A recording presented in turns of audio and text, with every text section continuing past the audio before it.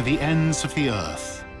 Journey to the Centre of the Earth. Adapted from the Jules Verne novel by Moya O'Shea. Episode 1.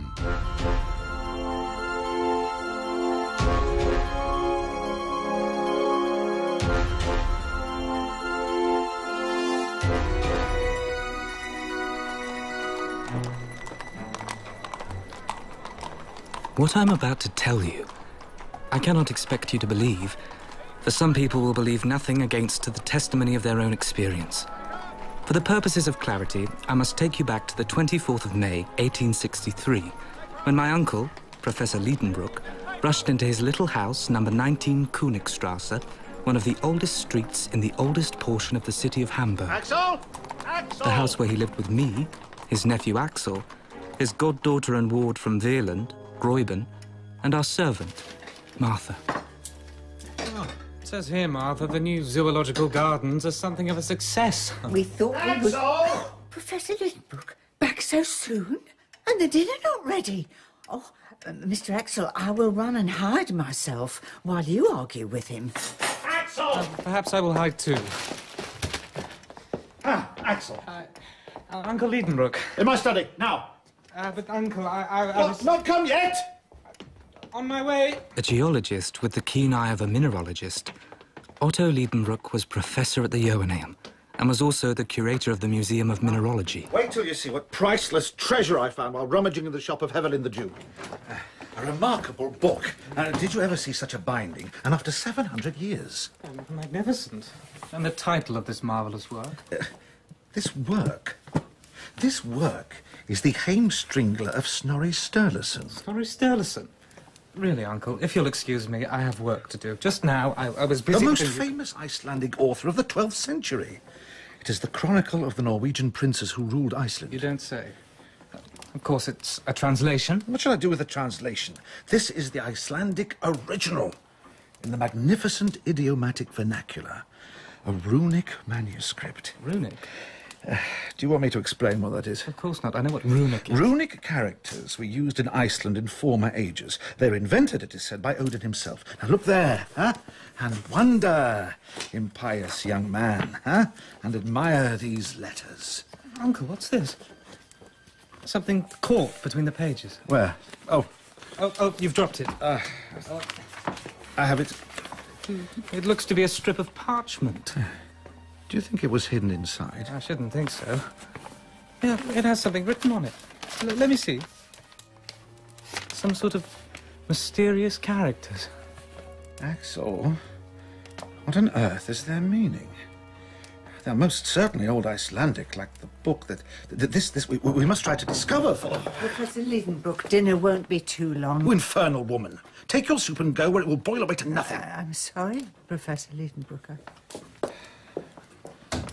Poor Martha. I will go and eat. You will not, and sit there. But, Uncle, I am hungry. Sit there and write. We must work out what this means.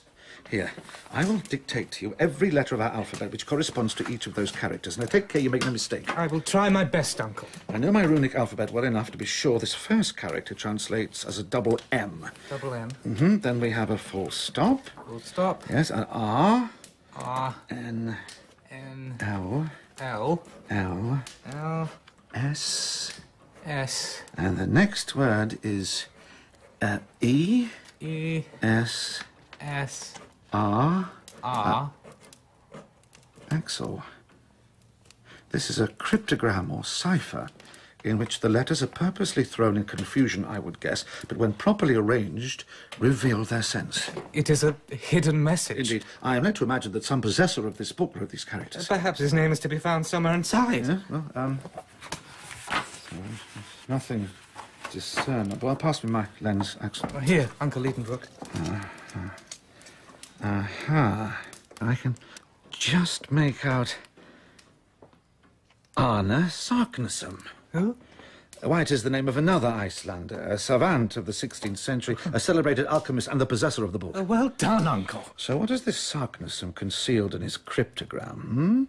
I will neither sleep nor eat until I find out, and nor will you, Axel. First of all, we must find the key to this cipher, the way to unlock its meaning. But here, I must confess, my mind wandered, and for very good reason. as my eyes had fallen upon a charming painting of Gräuben, who was at this time at Altona staying with a relation. And in her absence, I was very downhearted, for the pretty Virlandaise and the professor's nephew loved each other with a patience and a calmness entirely German. What are you looking at, my boy? Ah, you're in love with Gräuben. Yes. N- n- no. You love Gräuben. Now, although the characters on the parchment are runic, this Saknussemm was a very well-informed man, and I would guess he would naturally select that language which was currently adopted by the choice spirits of the 16th century. You think the message is in Latin? Yes, I, I do, and I'm going to try something. I'm going to take the first letter of each word, then the second, then the third, and so on, and see if that spells something. Now, now take this down. Double M. These letters named one at a time made no sense to me at all. I therefore waited for the professor to unfold, with great pomp, the magnificent hidden Latin of this mysterious phrase. Oh, it doesn't make any sense. The Latin is confused. The codes are muddled. Oh, uh, I need air. He's gone. Completely gone. But how about his dinner? He won't have any. What? No, my dear Martha, he won't eat a thing. Uncle Liedenbrook is going to make us all fast until he has succeeded in deciphering an indecipherable scrawl. Oh, my dear. Must we all die of hunger?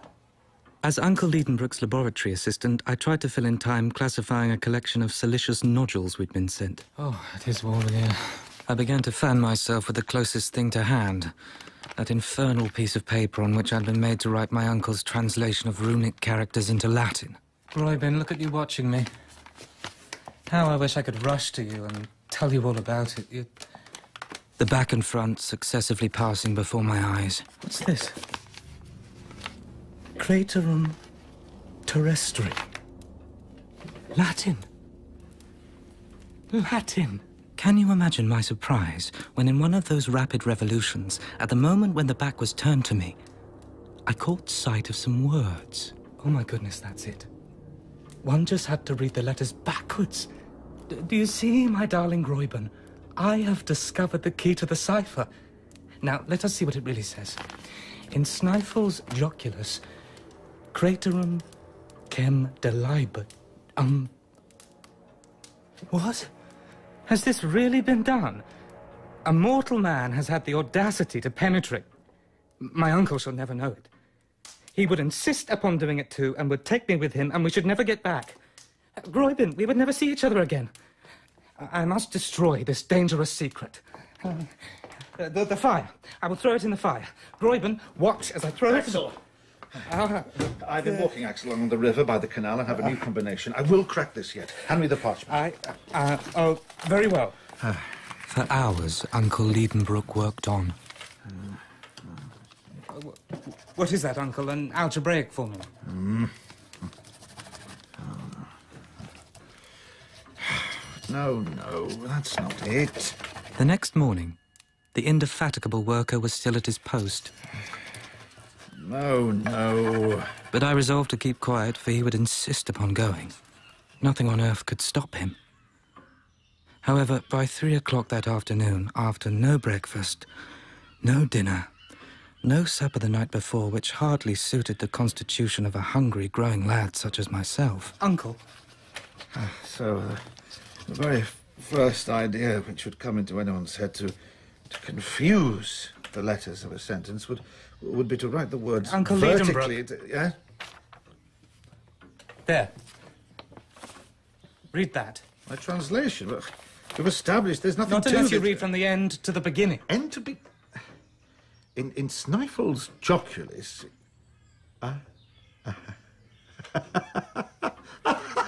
Clever, Saknussemm! You have written your sentence backwards. in, in Sneffels Yoculis, Cratrum chem delibat umbra Scartaris, Julie. Oh, this really is quite appalling Latin. But the meaning, Uncle. Uh, descend, bold traveller, into the crater of the Jokel of Snæfell, which the shadow of Scartaris touches before the calends of July, and you will attain the the centre of the earth, which I, Anna Saknussemm, have done. Yokel. Snifle. What is this Scartaris? Hmm. Axel, take down the third atlas on the second shelf in the large bookcase. Series Z, plate 4. As requested. Now, here is one of the best maps of Iceland, that of Henderson. Now, follow my finger. From Reykjavik, the capital. Now, what do you see there? Um, a mountain rising out of the sea. That is Snæfell. It is a mountain 5,000 feet high and an extinct volcano, which last erupted in 1219, and one of the most remarkable. If its crater leads down into the centre of the earth. Tocqueville is a term applied to all eruptive mountains in Iceland. Uh, Scartaris. Uh, Scartaris, let me, let me think. Um, Snæfell has several craters. It was therefore necessary to point out which of these leads to the centre of the earth. Uncle, none of them will lead to the Saknussemm must have observed that at the approach of the calends of July, that is to say the last days of June, one of the peaks, Scartaris. Scartaris, flings its shadow down the mouth of that particular crater. Could there possibly have been a more exact guide? what time is it? Three o'clock. Is it really? It's past dinner and I'm half dead with hunger. Come on! And after dinner, After? after dinner, pack my trunk. What? And yours. Ah. With these words, a cold shiver ran through me. I ran out of my uncle's study.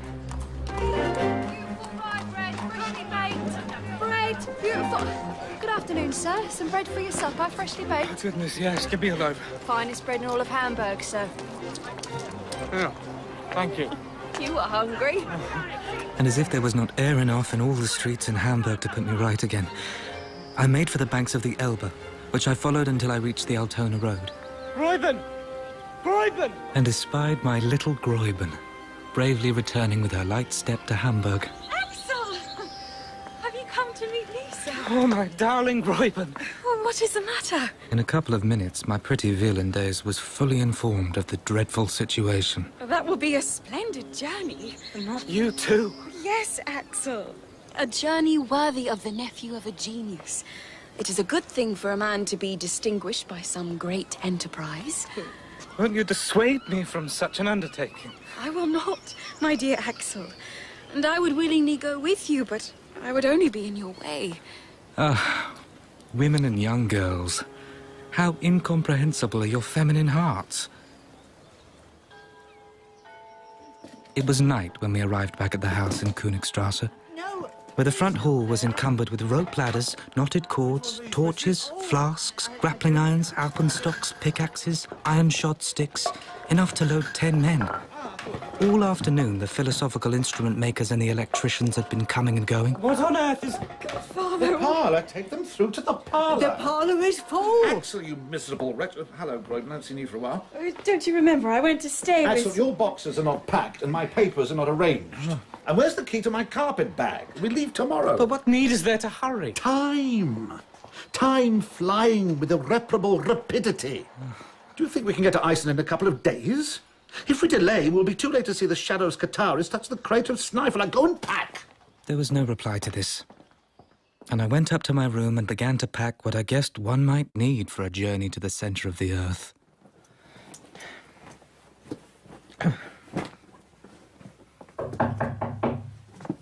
Axel? May I come in, please? Gräuben. I have had a talk with my guardian. He is a bold philosopher, a man of immense courage, and you must remember that his blood flows in your veins. Hmm. He has confided to me his plans, his hopes, and how he expects to succeed.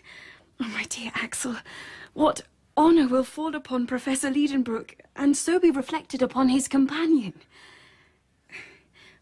When you return, you will be a man, his equal, free to speak and to act independently, uh, and free to. Marry me. My dear one. At ten o'clock, I fell upon my bed, a lump of inert matter. All through the night, terror had hold of me. I spent it dreaming of abysses. I awoke the next morning with shattered nerves and washed and dressed, trembling and weary, and headed downstairs with my portmanteau. take this out and come back. Ah, here he comes now. Ah, your case, Axel? It's packed. Good morning, Gräuben. Good morning, Axel. Then make haste, or we shall miss the train. Let me take that for you, sir. I'll find room for it somewhere. Very good. How fine you look, my dear Axel. A night's rest has done you good. A night's rest. Uh, Gräuben, I leave you in charge whilst we're away. Certainly. You have explained everything most fully. Farewell, my dear. Goodbye.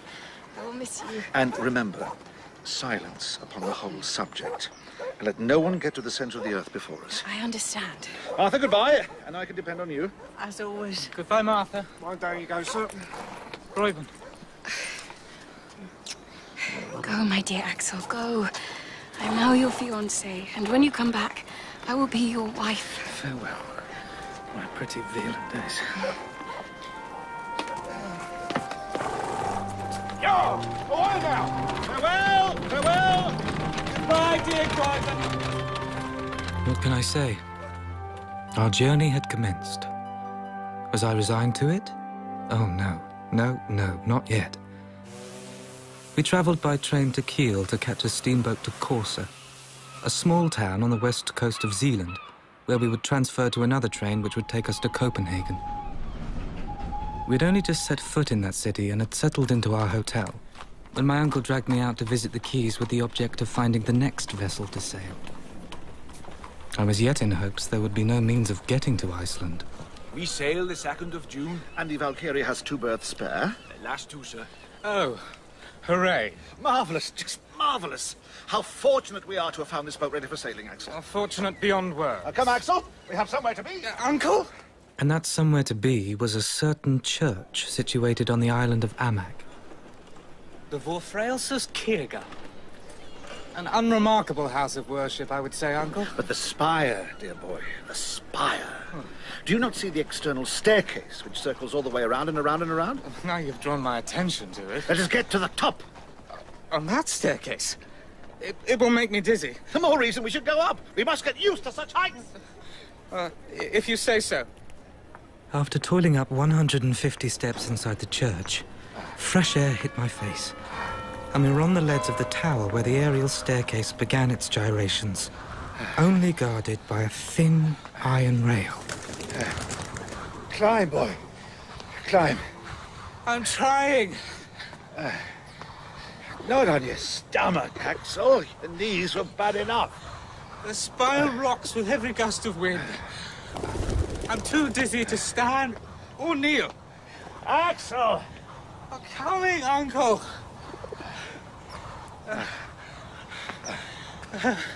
Am I at the top? Oh, Open your eyes. And you will see. Adam, open them! Look down! You must take a lesson in abysses. Open your eyes. oh, the steep is spinning. Uh, spinning. The, the houses below squashed flat. My first lesson in vertigo lasted an hour. Tomorrow, we will do it again. What? And so it was. For five days, I was obliged to undergo this anti-vertiginous exercise until the day of our departure on the Valkyrie. Uh, and the, uh, the, the passage will, will take, uh, Captain Bjarne? Uh, ten days. We don't need an Orvesta in passing the fells. Ah, uh, but, but, but you're not, um, as a rule, subject to c- considerable delays? Professor Liedenborg, don't be uneasy. We shall get there in very good time. Oh. The passage was marked by nothing unusual. I bore the troubles of the sea pretty well. My uncle, to his own disgust and his greater shame, was ill all during the voyage. Oh, oh Axel. Oh, There, there, Uncle Liedenbrock.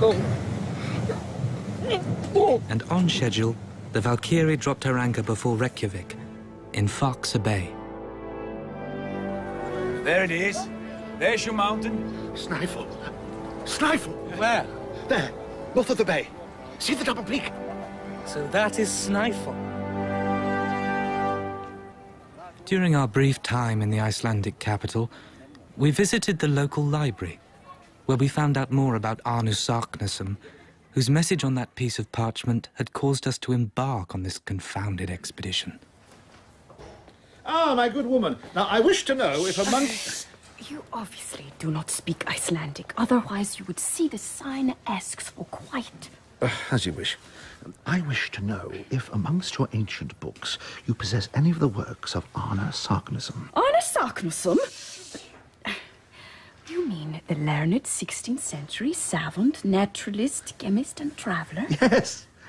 His works, we do not have them. What, not in Iceland? They are neither in Iceland nor anywhere else because Arna Saknussemm was persecuted for heresy. And in 1573, his books were burned by the common hangman. Very good. Excellent. What? Excellent. Yes, yes. Now it is all clear.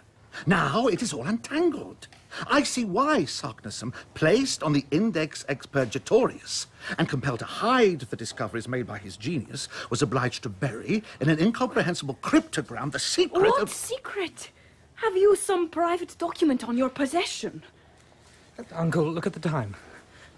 We have to see about a guide. Come, come. Uh, guide, yes, I'd almost forgot. Yes, we must go. What secret? As the next part of our expedition would be by land only, above and below it, we engaged a guide who came highly recommended. Axel, I would like you to meet Hans Bjelke. a tall man of robust build, strong and intelligent. His whole appearance bespoke a perfect calmness, which nothing in the world could astonish or disturb. How do you do, Mr. Bjelke? Uh, uh, Axel, Hans does not speak one word of our language. Not one. Nephew, you know I'm not prone to exaggeration. His language is Icelandic, but he can get by in Danish. And, being something of a polyglot, so can I. Uh, Hans, det här är min novo Axel Liedenbrook. Ah. Wacht de murder, Axel. Hans says, how do you do? Call him Hans. Yeah, yeah, Hans. Uh, how do you do, Hans? Hans is a hunter by trade. A hunter of the Eider duck. Oh. He does not look like the type who is likely to frighten game or even get near it. Have no fear. He only hunts the feathers, not the duck, eh? Oh. Hans was engaged for the whole period of my uncle's scientific research, for the remuneration of three rix dollars a week, about 12 shillings. Hans is a first-rate fellow, Axel, but he little thinks of the marvellous part he has to play in the future. So he is to go with us as far as... The centre of the Earth, Axel. Hmm, but it was an express article of the Covenant that his wages should be counted out to him every Saturday at six o'clock in the evening. Hver lørdag aften klokken seks. Time being against us, we left Reykjavik immediately. It was already the 16th of June, and headed to the village of Stapi on the south shore of the Snæfell Peninsula, at the very foot of the volcano. A journey of seven or eight days. There stands the giant I shall conquer. Ja, det der er Snæfellsjökull. Ja, Hans, ja. Uh, Uncle Liedenbrook, I was thinking, there's no proof Snæfell is extinct. Who can assure us an eruption is not brewing at this very moment? Does it follow that because the monster has slept since 1219, he must never wake again? And if he wakes up presently, where will we be? Yes, I was thinking that too. You were? Uh, but you see all those volumes of steam, Axel, there and there, curling up into the air, are what the Icelanders call uh, kver? Yeah, ja, det er en kvær. Uh, issuing from thermal springs. Now, they demonstrate we have nothing to fear from the fury of a volcanic explosion. Am I to believe that? In Stapi, Hans hired the services of three Icelanders to do their duty in the transport of the burdens, and who were to turn back as soon as we arrived at the crater. Along with our provisions and instruments, Hans, who was a cautious man, added to our luggage a leather bottle full of water, which with our flasks would ensure us a supply for eight days.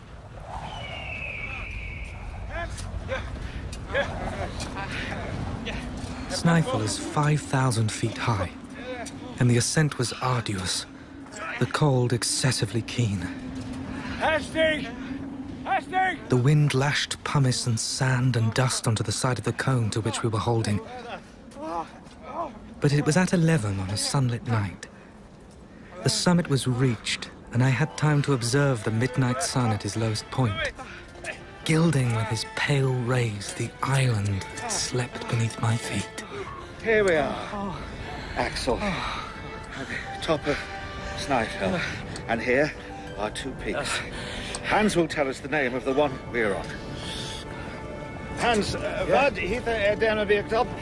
Uh, den her Skartais. Scartaris. Did you hear that? Descend, bold traveller, into the crater of the Yerkle of Snæfell, which the shadow of Scartaris touches before the calends of July, and you will attain the center of the earth. Now, for the crater. The crater of Snæfell resembled an inverted cone, the opening of which might be half a league in diameter. Its depth appeared to be about 2,000 feet. Uncle, please. In the morning. Supper, sleep. Now! Time is against us. The calends of July. Nu er det taget ud af forret krans til dig, Hans. Ja. Følg mig. Your two hands.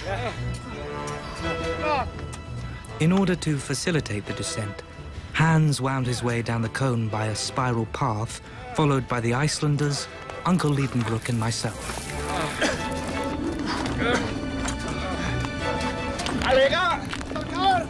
Vær nu forsigtig! At particularly dubious passages, we were obliged to connect ourselves with one another by a long rope, in order that any man who missed his footing might be held up by his companions. I'm all right. I'm all right. Hold it! Oh, oh. Hold my arm, Axel. I will, Uncle. Hours later, we arrived. Ah. Vi er her nu. So, bottom of the crater at last. and I raised my head and saw straight above me the upper aperture of the cone, framing a bit of sky very small in circumference. Just on the edge appeared the snowy peak of Scartaris. We gave our thanks to the Icelanders. Goodbye. Safe journey back. Thank you for your help. Uh, mange and turned our attention to three chimneys through which, in its eruptions, Snæfell had driven forth fire and lava from its central furnace. Each of these chimneys was around 100 feet in diameter and gaped before us, right in our path. Which one, Axel?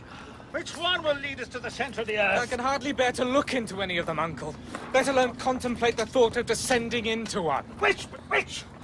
Den mand er tosset. I don't think I... Ah! What's this? Uh, Uncle? Axel! Axel, come! Come! Hvad?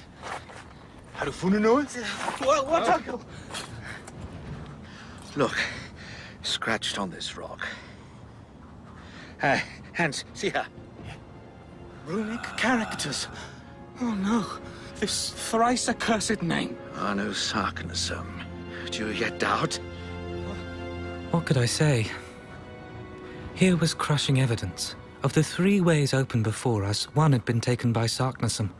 The indications of the learned Icelander, hinted at in the cryptogram, pointed to the fact the shadow of Scartaris came to touch that particular way during the latter days of the month of June. The peak acting like a giant sundial, which on a certain day would point out the road to the center of the earth. Accursed clouds! Go! Go away! Ja, men snart skal det regne. But now, no sun, no shadow, and therefore no indication. Here was the 25th of June. If the sun was clouded for six days, we must postpone our visit till next year. I could only hope. No, no! Not next year! On the 26th of June, there was still nothing. Rain mingled with snow fell all day long, Oh, no! Why rain? Why now? It's summer! and I felt a malicious pleasure in watching the thousand rills and cascades that came tumbling down the sides of the cone. The next day was again overcast, I don't believe this! Hans, dear, do right for it! Ja, sådan. But on the 28th of June, the last but two days of the month, with a ah. change of the moon came a change of weather. No, son. Go away. Please go. What did you say, Axel? Uh, son, uh, it is coming out. And the sun poured a flood of light down the crater. Hooray! oh, Axel!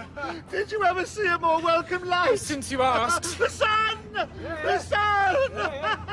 Look, Hans, the sun! I say solen! Ja, ja, solen. Solen kommer. And with that, Scartaris laid down his sharp pointed angular shadow, which began to move in the opposite direction to that radiant orb. There it is. There it is. And at noon, being at its least extent, it came and softly fell upon the edge of. The middle chimney. It's the middle way. Nu till Johans indrag igen. Yeah. As I feared. Nu till Jorns inre kärna. Framme! Forward! The center of the earth. I had not yet ventured to look down into the bottomless pit into which I was about to plunge. I might now either share in the enterprise or refuse to go. Yes. That's it. I could refuse to go. Axel. Framme. But I was ashamed to recoil in the calm, indifferent presence of the eiderdown hunter. My heart flew back to my sweet Virland days. For you, darling Gräuben, I do this. And I approached the central chimney. Oh, it's so dark. Uh, so deep. Uh, for... Oh, uh, Oh, uh, uh, Försiktig, Axel. oh, thank you, Hans. Oh, dizzy. Oh, so dizzy. I, I suppose I did not take as many lessons in heights on the steeple. Axel? I'm all right, Uncle. But I look down there, and the walls are almost perpendicular. A, a rope fastened to the edge of the aperture might help us down. But how are we to unfasten it when arrived at the end? Now, now, now, see here, Axel. Uh, this coil of rope is 400 feet long. Now, I drop down half and uh, pass the rest around this lava block. Yep. Huh? Yep. Like so, uh, uh, attack hands. Should- Uh, should hold fast. Then throw the other half down. Uh, each of us can then descend by holding both halves of the rope, which would not be able to unroll itself from its hold. Uh, when 200 feet down, i- it will be easy to get possession of the whole of the rope by letting go one end and pulling down the other. Uh, this exercise can go on ad infinitum. Ad infinitum. Good idea, Hans? Uh, good idea. Ja, ja, ja, meget god idé. Yeah, but what about our things? Uh, well, I will divide them into three lots. Each of us will strap one on his back. I I mean, only fragile articles. Hans will take charge of the tools and a portion of the provisions. You, Axel, will take another third of the provisions and the arms. I will take the rest of the provisions and the uh, and the delicate Uh, instruments. But the clothes and, and, and that mass of ladders and ropes, what is to become of them? ah, watch. Uh, help me, Hans. Uh, uh, Hans, uh, me. Oh, oh my goodness! Ah, see, they can go down by themselves.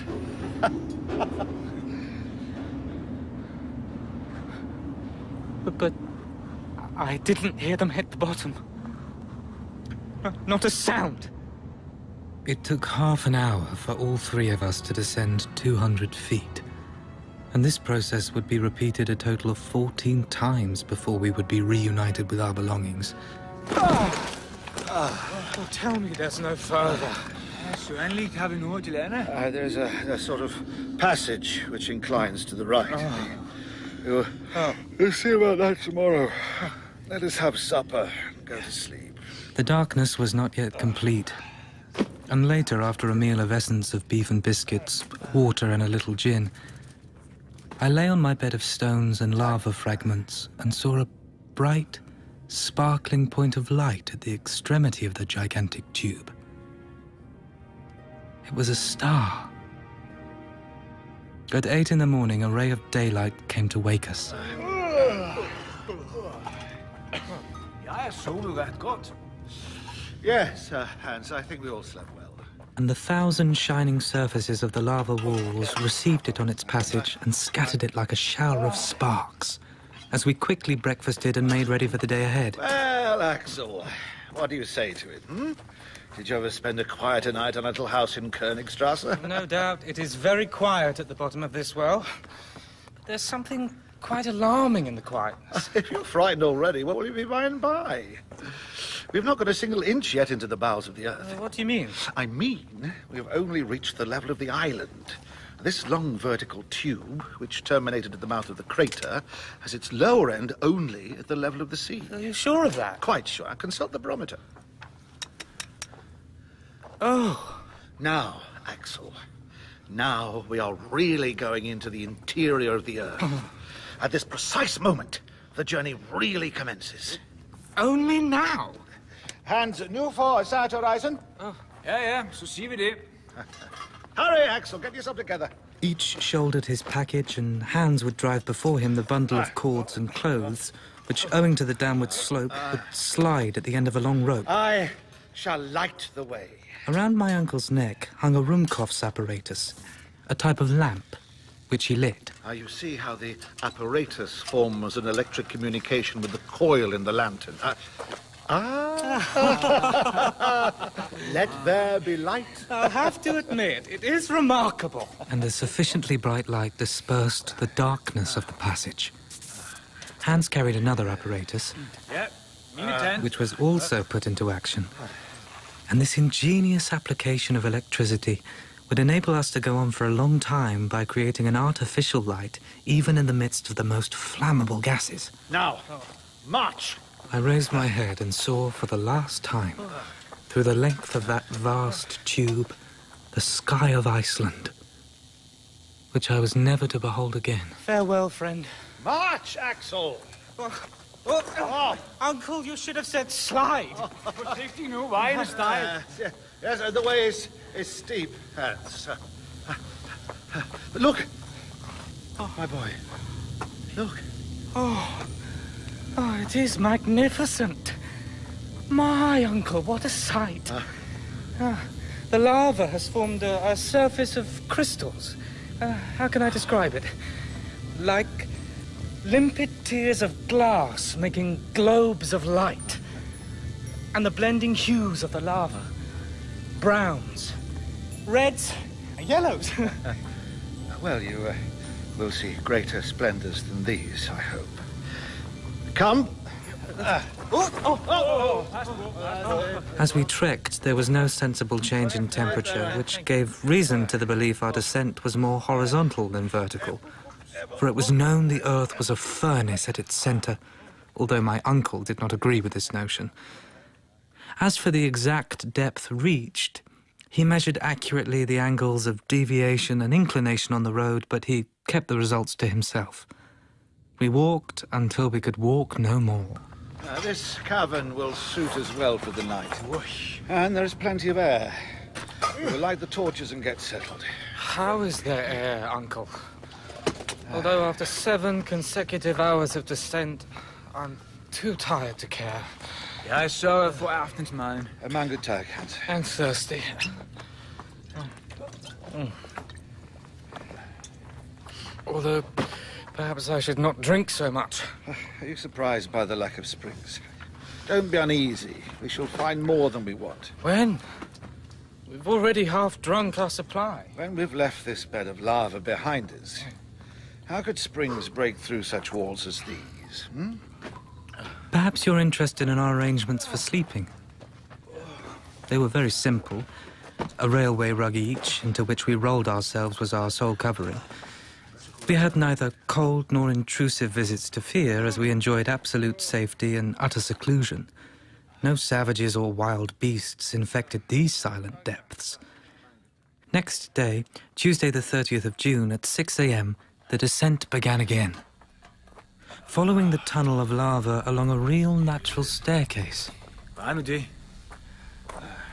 Hey, det er Hans. Hvorfor stopper du? Ja, det er to veje at vælge imellem. Hvilken ende skal vi tage? Uncle? Uh, here we are, at the very end of the chimney. Uh, there is an intersection. Oh, I see. Uh, one going east, one west. But but which way? East. Come. Okay, så siger vi det. Uh, uncle, uh, are you sure? This way. The slope of this tunnel was barely perceptible and its sections unequal. Sometimes we passed a series of arches succeeding each other like the majestic arcades of a Gothic cathedral. A mile further, we had to bow our heads under the corniced elliptic arches in the Romanesque style. In other places, this magnificence gave way to narrow channels we had to creep along. It was the next day when I noticed something. We are going up, Going up. and have been for some time now. This road is bringing us nearer to the surface with every step. Gräuben. And, and look here. The, the lava coating is giving way to rock, We are passing through rocks of the Transition or Silurian system. What's that you say? This series of sandstones, limestones, even the first indications of slate. We are at the period when the first plants and animals appeared. Are we stopping now or just gotta go? Van late, Hans. But, Uncle, we have left the lava path, and this road could not possibly lead to the extinct furnace of Snæfell. If I am right, then we must soon find some fossil remains of primitive life, and we must yield to the evidence. I will search. I'm sure I'm not mistaken. There must be. Uh, what's this? Uncle, wait. What? I. Look what I found. Very well. It is the shell of a crustacean of an extinct species called a trilobite, nothing more. But don't you conclude. Just what you conclude yourself. Yes, I do, perfectly. We've left the granite and the lava. It is possible that I, I may be uh, mistaken and should have taken the west path and not the east, but I cannot be sure until I have reached the very end of this tunnel, where I await one of two events. Either the appearance of a vertical well down which our descent might be resumed, or that of some obstacle. You are right in doing this, Uncle, and I should quite approve of your determination. If we were not threatened with a danger growing ever nearer. What danger? Well, the want of water. Well, Axel, we will put ourselves on rations. And this indeed we were forced to do. Our provision of water could not last more than three days, and to our sorrow we had little reason to expect a spring in these transition beds. For two days we walked, and I observed a singular deadening of the reflection of our lamps from the side walls. Marble, schist, the limestone and sandstone were giving way to a dark and lusterless lining. It was cold. And. Uncle, I'm beginning to think this tunnel must be endless. It isn't Is it what? endless, How do you figure that? We know it till end. because we are at the end. A dead end. Oh. Well, now, at any rate, we shall know what we're about. We are not on Saknussemm's road. Uh, and and all, all we have to do is, is, is go back. Th- let us take a night's rest. Uh, and in three days we shall get to the fork in the road. Three days. By tomorrow we will have no water. Nor courage either, Axel. Courage! As I had foretold, the water failed entirely the next day.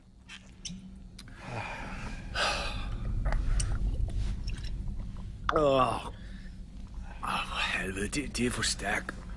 Her, drik, professor Lidenbrock. Ah, tak, Hans. Oh. Uh, let us hope that it is in some way helping. Uh, your turn, my dear boy. Take a sip of gin. This infernal liquid burns my throat. I'm too dry. And the air in here is stifling. Fatigue has paralyzed my limbs. Hans, Ja. vi bliver nødt til at hjælpe. Ja, ja, ja, selvfølgelig. Come, Axel. We will help you.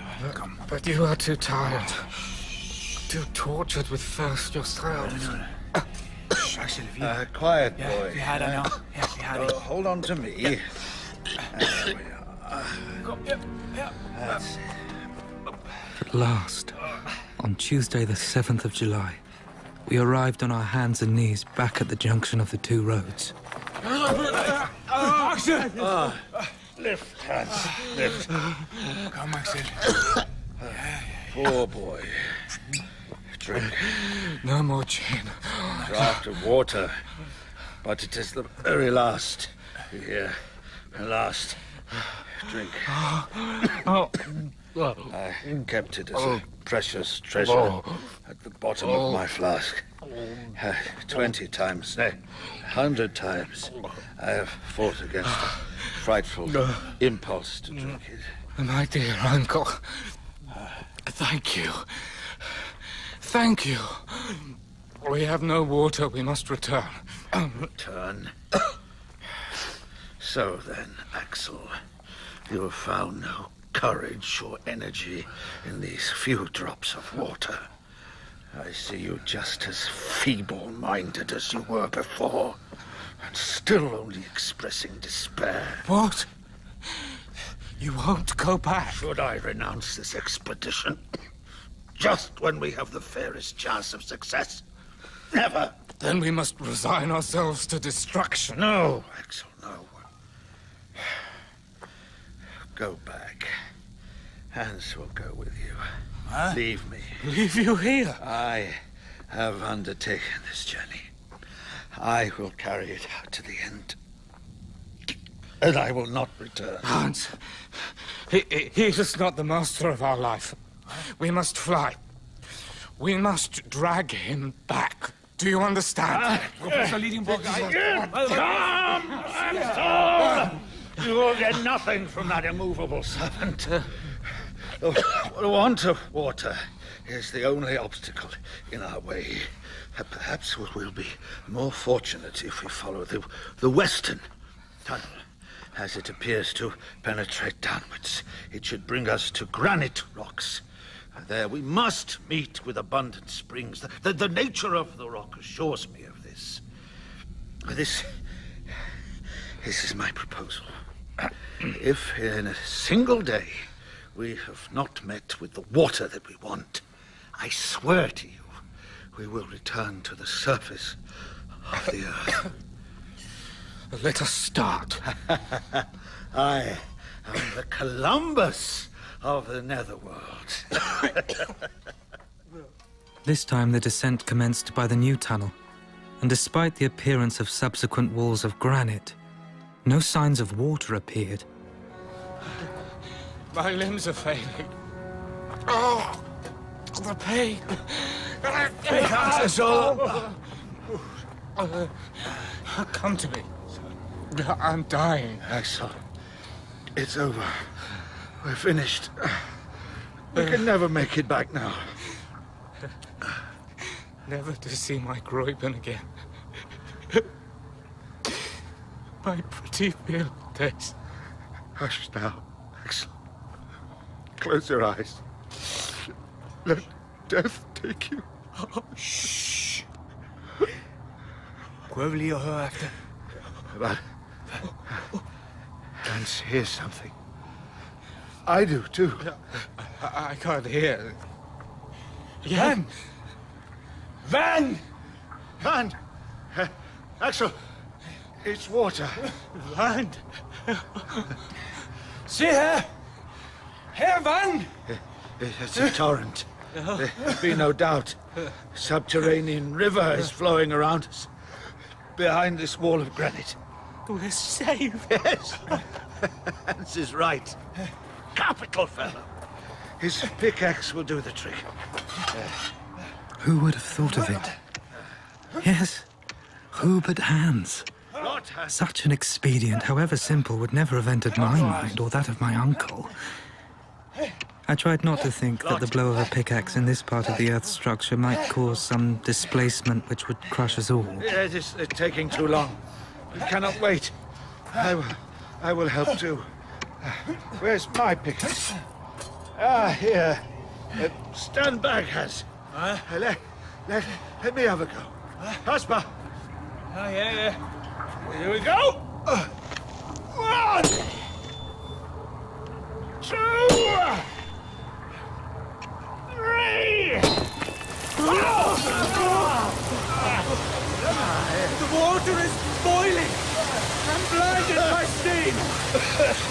Uh, let it cool, boy.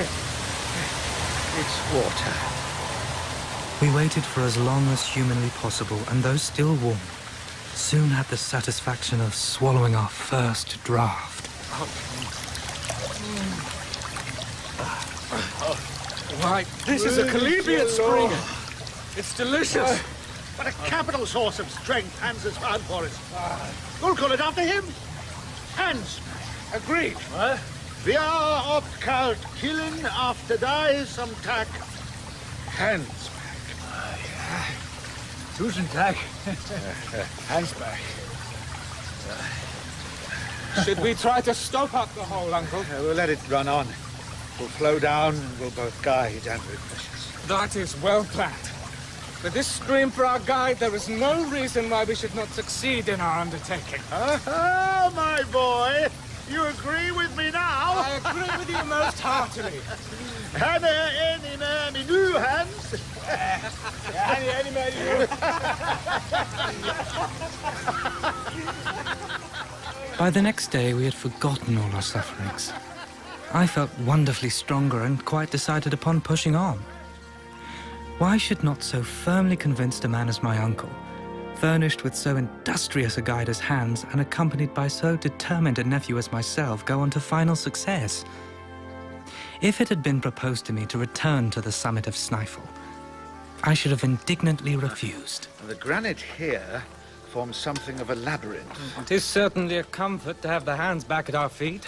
The way is still too horizontal.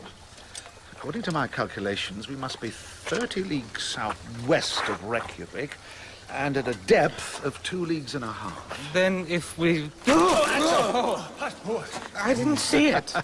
I nearly fell in. It is just as I would have wished for. A huge abyss of, say, uh, how large would you say it is, Axel? I nearly fell in. What geologists call a fault. Now, this will take us a long way down and without much difficulty, for the projections in the rock form quite a staircase. Fasten the ropes, Hans. What? Uh, Hans, uh, Raven. Oh, yeah, yeah. Got so, Professor Lidenbrock. For three or so days, we climbed down this vault. And every hour, my uncle noted the indications of the compass, the chronometer, the manometer, and the thermometer. Therefore, it was not difficult to know our whereabouts exactly. I was reflecting that if your calculations are correct, we are no longer under Iceland. Can it be the ocean spread about? Of course. I do not feel so easy at the thought of the boundless ocean rolling over my head. Whether it be plains or mountains, it matters little, as long as we are arched over by solid granite. Four days later, in the evening, we arrived at a vast kind of grotto, One, In. two, and it was there at six o'clock. Hans was paid his weekly salary as agreed. three rix dollars. Tre. Mange tak.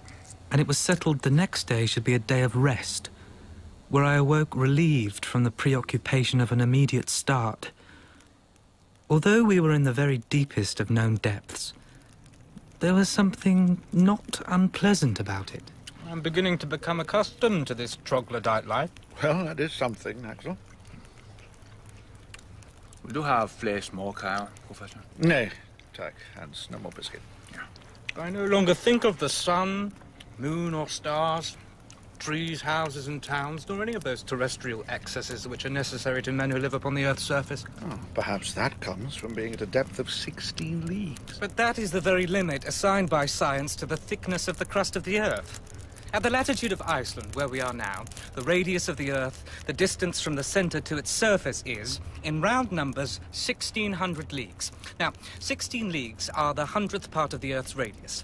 It has taken us 20 days to get as far as we now have. Therefore, at this rate, we shall be 2,000 days, or nearly five and a half years, in getting to the center. What one man has done, another may do. And it will certainly not take five and a half years. I hope so. But still, if I may be permitted. You shall have my leave to hold your tongue, Axel. But not to talk in that irrational way. As you wish. Uncle Lidenbrock. All in all, it must be confessed that hitherto things had not gone so badly, and that I had small reason to complain. And to what height of scientific glory we should then attain? I'd become quite a Lidenbrock in my reasonings. Seriously, I had. For several days, steeper inclines, some even frightfully near to the perpendicular, brought us deeper and deeper into the mass of the interior of the earth. Altså, pas på, professor. Det kan du ikke stå fast. Your footing, not there, Uncle. To the left, there's a rock. Try that. Ah, yes. Uh, it, it, it seems quite secure, and I... Oh! Oh! Oh! oh. It's all right. I'm safe. Safe. By August the 7th, the tunnel went down a gentle slope. I was ahead of the others with the Ruhmkorff's apparatus. The beds of granite are remarkable here, Uncle. See here, the grain is quite large. I would say larger than before, and the colour. Uncle? Uncle? Hans? Where are you, Uncle? Have you stopped? Hans? I must have been going too fast. Stay where you are. I'll come back to you.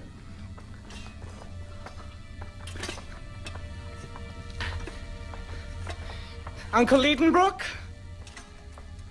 Hans? Where are they? There's only one road, and they're on it. I, I, I'm coming! Uncle Lidenbrock? Hans? I'll be with you soon. Have I not a guarantee that I shall not lose my way? A clue in the labyrinth, one that will lead me back to you, my faithful stream, Hansbach.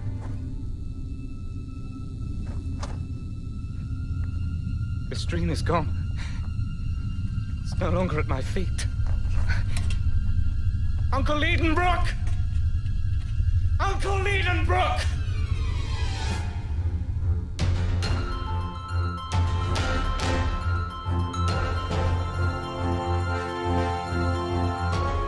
In Journey to the Centre of the Earth, adapted from the Jules Verne novel by Moya O'Shea, Axel was played by Joel McCormack, Professor Lidenbrock by Stephen Critchlow, Hans Gudmundur Thorvaldsen, Gräuben Nicola Ferguson, and Martha Elizabeth Bennett. Other parts were played by Nick Underwood, Sam Ricks, Tom Forrester, and Scarlett Brooks. Original music was composed by Neil Brand, and the director was Tracy Neal.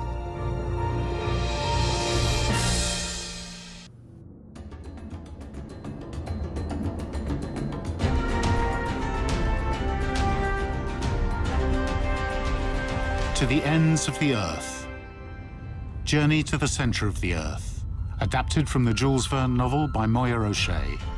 Episode 2.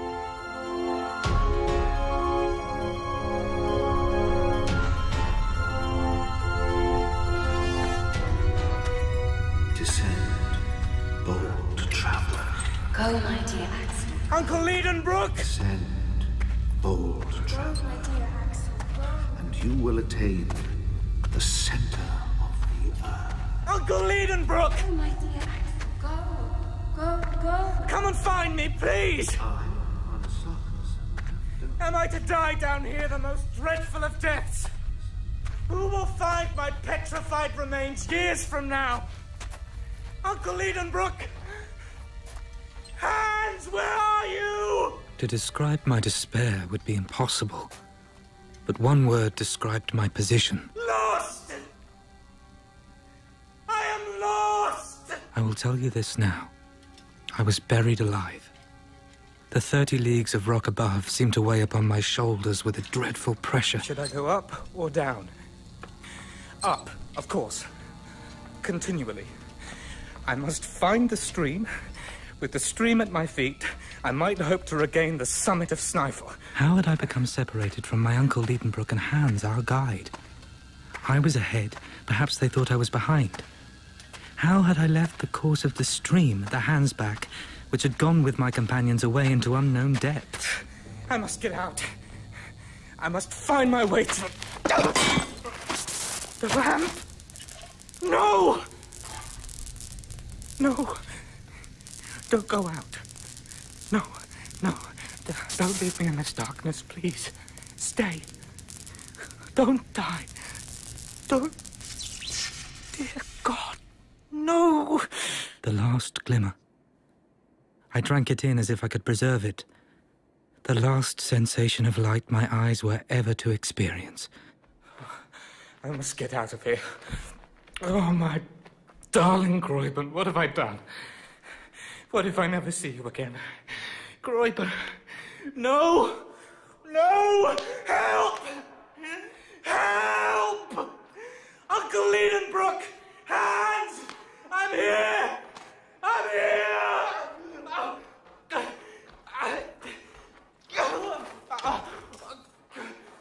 Oh, Axel. Uh, Axel.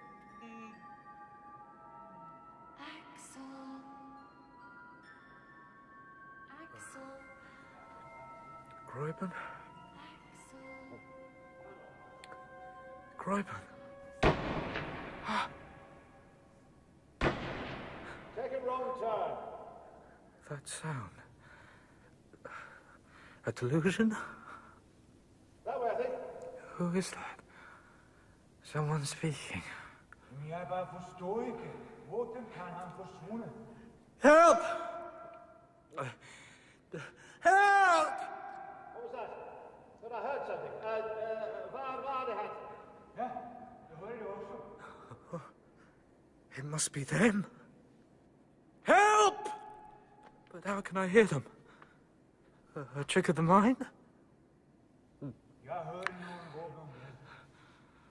Ah, the noise comes along the tunnel. Axel! Is that you? Put your lips to the wall! Oh, uh, yes! Yes! My boy, where are you? Lost in the deepest darkness. What about your lamp? It is out! And the stream? Uh, the Hansbach? Disappeared! Axel! Axel! Take courage! We looked for you up and down the tunnel! We fired our guns! Oh, that is the sound I heard. We must know how far we are apart. Y- you have your chronometer? I have! Well, take it and call my name, noting the exact second you speak. I will repeat it as soon as it comes to me, and you will observe the exact moment when you get my answer. Yes! And half the time between my call and your answer will tell us how long my voice takes in coming to you. Just so, Uncle. Ready now? I am going to call oh. your name. Axel! Axel! My uncle calculated I was at a distance some four and a quarter miles away from a vast chamber where he now stood with hands. Must I go up or down? Down! Your tunnel must lead into this chamber. Get up and begin walking. Spread yourself if necessary. Slide down the steep places, and at the end, you will find us ready to welcome you. I'm on my way! You may be wondering how it is my uncle and I were able to converse. This acoustic effect is easily explained on scientific grounds. It arose from the concave form of the tunnel and the conducting power of the rock. If you've been in the gallery of St. Paul's Cathedral in London, you will know a similar phenomenon has been observed. The slope was rapid, and I slid down. Soon the swiftness of the descent increased horribly, and I was forced to run. Help! I, stop! I,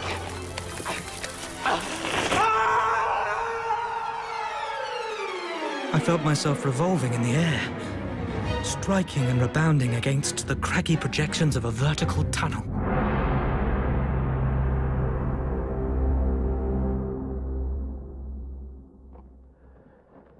Gräuben? Gräuben.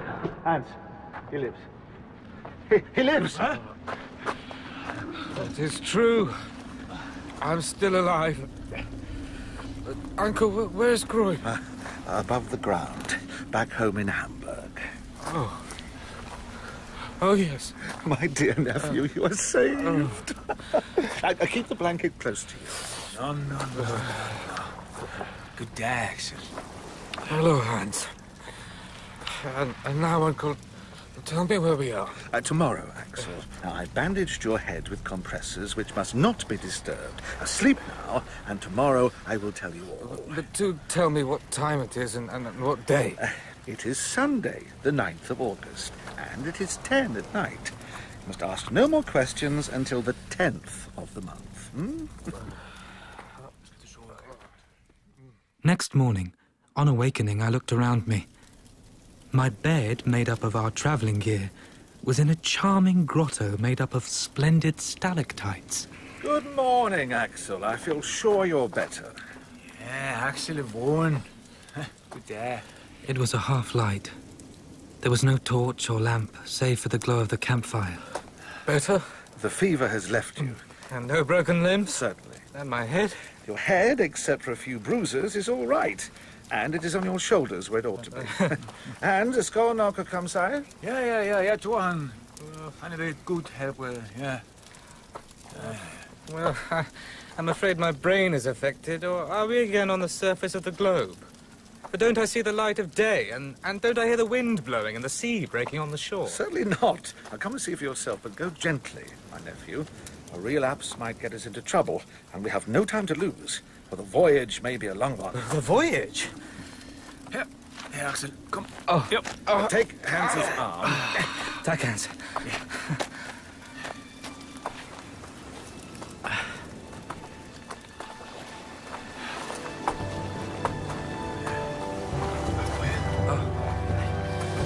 Ah, Such light. I'm not used to it. What, what is...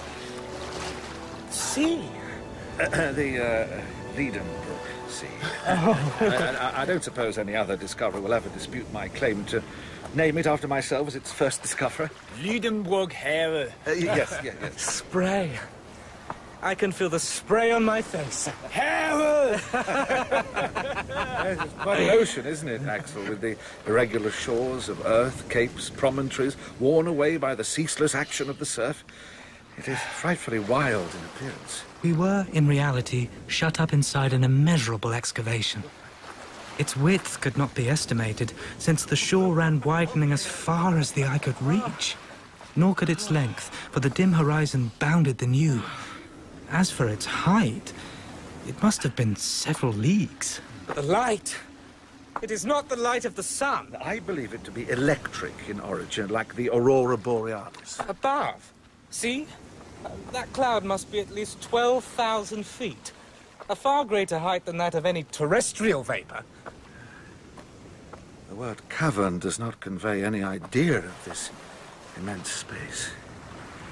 Uh, Do you feel strong enough to walk a little way now, my boy? Uh, Certainly. And nothing could be more delightful. Hans, have you got into? Yeah, godt så. Take my arm, Axel, and let us head inland.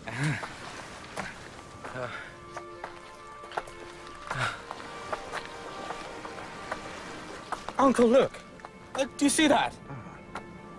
At the turn of that high promontory. A Type of tree, do you think? The, the shape more like a. it's only a, a forest of giant mushrooms. You're correct.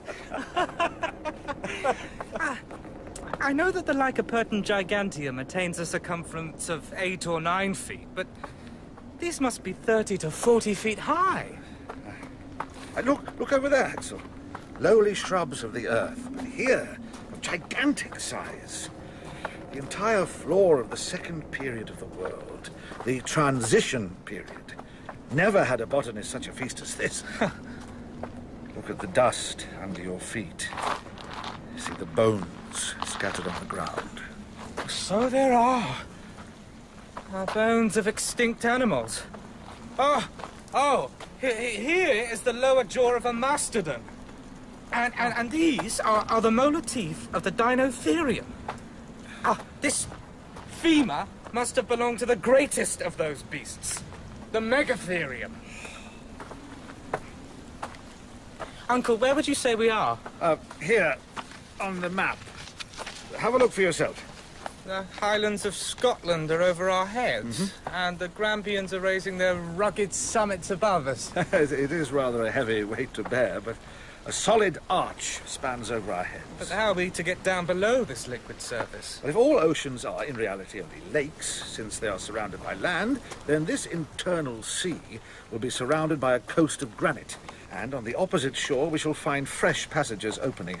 We shall set sail tomorrow. Set sail, shall we? Mm-hmm. I should like to see a boat first. And how long do you suppose this sea to be? Or 30 or 40 leagues. And it would not be a boat at all, but a good, well-made raft. A raft would be just as hard to make as a boat, and I did see I anybody. know you don't see, but you might hear if you would listen. Don't you hear the hammer at work? Hans is already busy. What? He has been felling the trees. Oh, the trees are already down. Come and you will see for yourself, beyond the promontory. Hey, Hans. Uh, du går i gott stycke arbete. Ja, tack, tack. Ja, A raft. Hans is making a raft. ja, ja, ja godt i fast med hvordan det går. Hans is pleased with how it's coming along. By the next day, thanks to the industry and skill of our guide, the raft was made. A mast was fashioned from two poles spliced together, a yard was made of a third, and a blanket borrowed from our coverings made a tolerable sail. That's it. Cast off. Newselter's Abster, Hans. Godt så. Hans had fitted up a rudder to steer the vessel and took the tiller. Sail works well. Wind's caught it. Alt det er flæsikligt. This fine harbour which has given us such kind shelter must have a name. Ah, Port Axel. Uh, I have a better one to propose. Gräuben. Let it be called Port Gräuben. It will look very well upon the map. Port Gräuben it is. So named August the 13th, 1863. And with that, the cherished remembrance of my Virland days became associated with our adventurous expedition.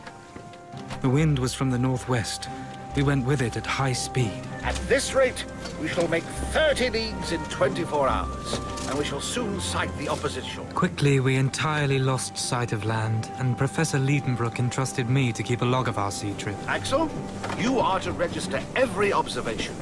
Make entries of interesting phenomena, the direction of the wind, the rate of sailing, the distance accomplished. In a word, every particular of our singular voyage. And here are my daily notes exactly as I wrote them. Friday, 14th of August. Wind steady, northwest. The raft makes rapid progress in a direct line. Nothing in sight before us. Intensity of light the same? Ja, jeg skal nok fiske. Ah, Hans is going to try fishing. At noon, Hans prepares a hook at the end of the line and baits it with a small piece of meat. For two hours, nothing is caught. Are these waters bare of inhabitants? Can it be that Hvad we... var det? Oh, something tugged at the fishing line. Yes, I saw it. Um, um, uh, a sturgeon! A small sturgeon! He may say den. Ja, ja. Vær så god. Uh, uh, uh, see here, the, the, the head is, is flat, but rounded in front. hmm? And the anterior part of its body is, is plated with bony, angular scales. It has no teeth, its pectoral fins are large, and it has no tail. And, and that this fish belongs to an extinct family of which only fossil traces are found in the Devonian formations. What? Have we taken alive an inhabitant of the seas of the primitive ages? it is so, Axel. Uh, but this one displays a peculiarity confined to all fishes that inhabit subterranean waters. It is blind. Uh, not only blind, but actually has no eyes at all. Nothing See? could be more certain. But supposing it might be a solitary case. Hans, please bait the hook. Oh, Hans uh, can do. Åh, ja, ja, ja. Ja, jeg skal nok fiske. Within a couple of hours, we have taken more fish. This unhoped for catch replenishing our stock of provisions. Saturday, 15th of August. The sea remains unbroken all round. No land in sight. The horizon seems extremely distant. One, two, three, uh, and, uh, and, two, three rix-dollars. Here, Hans, uh, tusen tack. Yeah, my tak. You seem anxious, Uncle. Anxious? No, not at all. Im- impatient, then. We- We are going very far. What does that signify? I'm not complaining the rate is slow, but the sea is so wide. We, we, have travelled 30 leagues more than three times now. We're not descending as we ought to be. Since we have followed the road that Saknussemm has shown And that us... is the question. Have we followed that road? Did Saknussemm meet this sheet of water? Did, did he cross it? You're really not the best of travellers, are you, Uncle? Sunday, 16th of August. Nothing new. Weather unchanged, so is the light. Truly, this sea is of infinite width. It must be as wide as the Mediterranean or the Atlantic. And why not? My uncle has taken soundings several times. He ties the heaviest of our pickaxes to a long rope, which he lets down to 200 fathoms. No bottom yet. He tries again. Oh, Dean! It's the Dean Brook Sea! Axel, a hand, quick! Help me pull this thing up!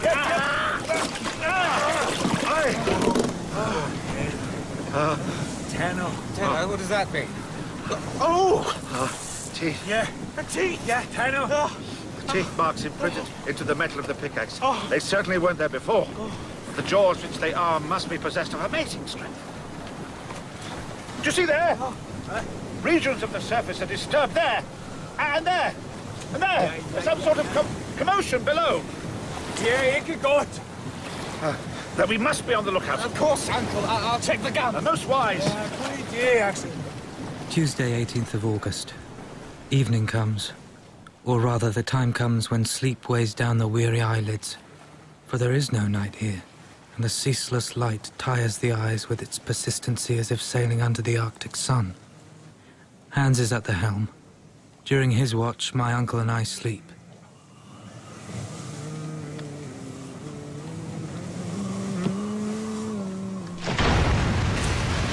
Ah! Oh, oh, oh, oh, what, what's the matter? Have we, have we struck land or?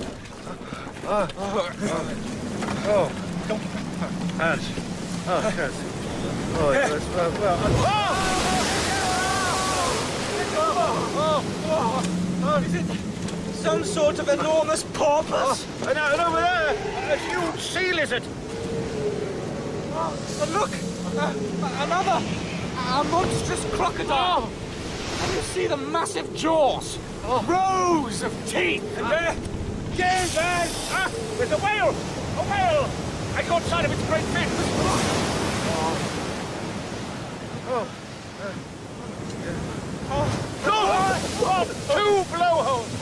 Creatures of supernatural dimensions! I believe the spawners could crush our raft, crew and all, with one snap of its huge jaws. Vi borde flytte? Vi er... Åh, nej! Hans? Det er en til! Oh dear! What is that? A turtle? A turtle 40 feet long! And, and coming behind... Nej, nej, det, det er! Yes, it is, Hans. A serpent. A giant one. Oh, dear. Oh, Uncle, they're circling! Flight is out of the question. We'll never make it. They're coming closer. My rifle is ready. What can a rifle ball do against the scaly armor that covers these beasts? Sjöhuan! Den kommer! What? What did he say? He said, the serpent is coming!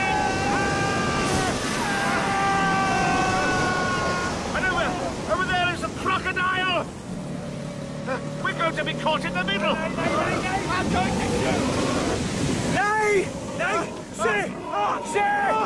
Se! Oh, my goodness! They didn't even see us. They're going to kill each other! The crocodile has the serpent by the head! Look at it! porpoise! And the! Two! They're back! Two! And the whale! And... Did he say two? Yeah. Does he mean there are only two out Yeah. there? Axel, my telescope, please. Oh, uh, here, Uncle, here. Uh, thank you. Uh, oh, uh, Hans is right. Uh, the, the first of the monsters has a, a, a porpoise's snout, uh, and is its head a crocodile's teeth, and hence our mistake. I, I believe it is the Ichthyosaurus, the uh, fish lizard, the most terrible of the ancient monsters of the deep. Not the news I wanted to hear. Uh, and and the other? Uh, the other is a Plesiosaurus, a, a serpent with a carapace and paddles of a turtle. He is the dreadful enemy of the other. Oh! Oh! Oh! The fish lizard has torn open the serpent's neck. Oh, oh, I, oh, no, I didn't really have to do that.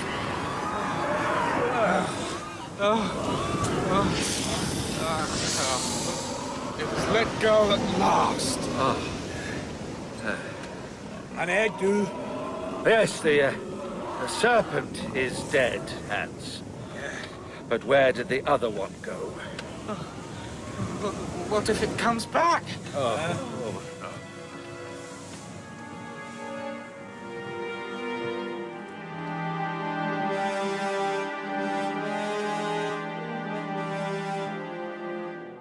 Wednesday, 19th of August. Fortunately, the wind blows violently, and this enables us to flee from the scene of the late terrible struggle. Some hours later, we encounter a curious sight. Oh! Is it another sea beast? Uh, a sort of vast inverted cone. Please don't get too close. In Holm, an island. That's not an island. There's nothing else. But that column of water? Geyser. A geyser on uh, Axel Island. Axel Island? Yes. Axel Island. The next few days are strangely calm. The calm before the storm. The air crackling with electricity. On the mast, I can already see the light play of a lambent St. Elmo's fire. Let us reef the sail and cut the mast down to stem our progress. That will be the safest. Never! Let the wind catch us if it will! What I want is to get the least glimpse of rock or shore, even if our raft should be smashed into shivers! Uncle!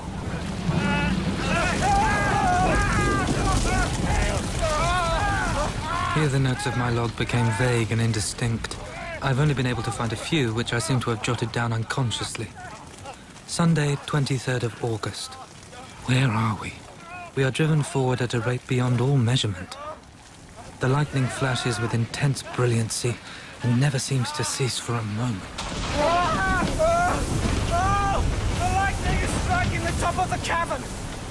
What if the roof should crumble down upon us? We think things cannot get any worse, but within hours, the storm redoubles.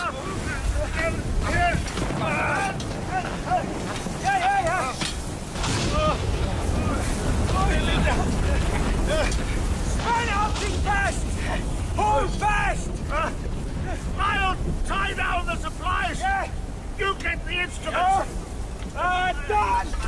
Then tie yourself to the mast! Yes, to mast then! Uh, yeah. uh, uh, uh, I'm tied!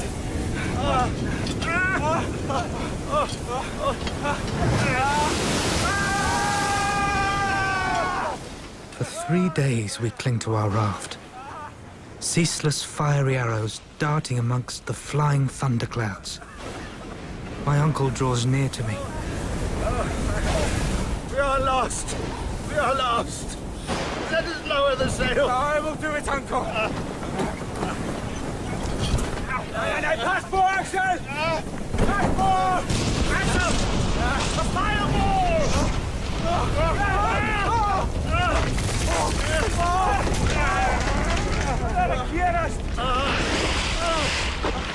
Mast then!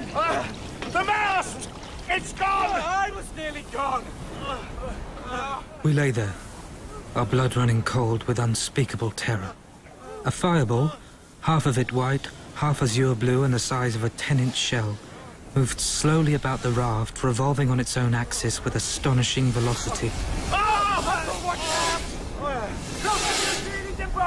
Don't die! Oh, I was close. My hair is singing!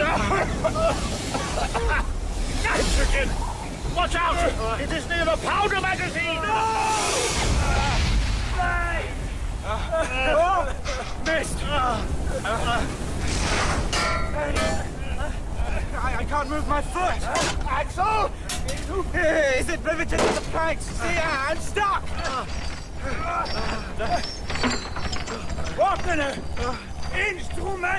Ah, yeah. The fireball must have uh, magnetized every iron particle on board. The, the, the, guns, instruments, tools are all being drawn to one another. The nails of my boots are magnetized to a plate of iron let into the timbers. I, I've got to get free. I, I, I, I, ah, done it! It is burst! In flames! Fire!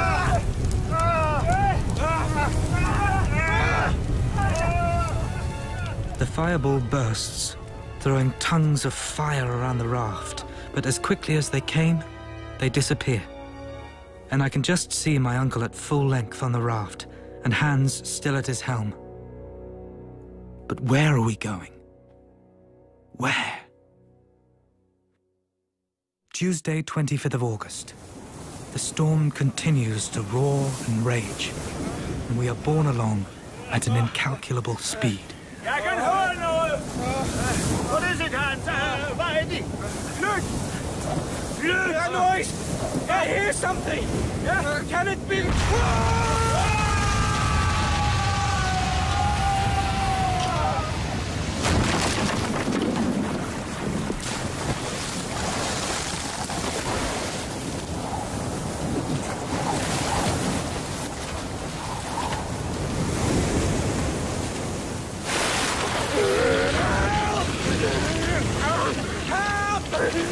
cannot swim! Come!